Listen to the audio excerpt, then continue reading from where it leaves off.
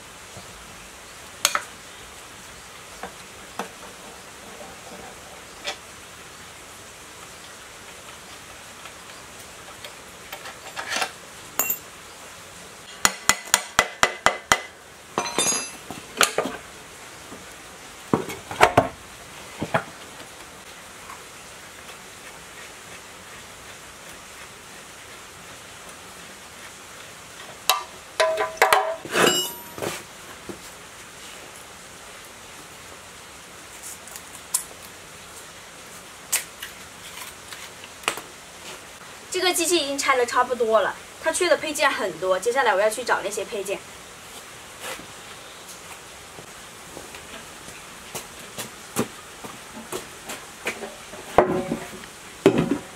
缺的所有配件我都已经找来了，然后它原来的油壶的话，这里是破的，所以我就找了一个。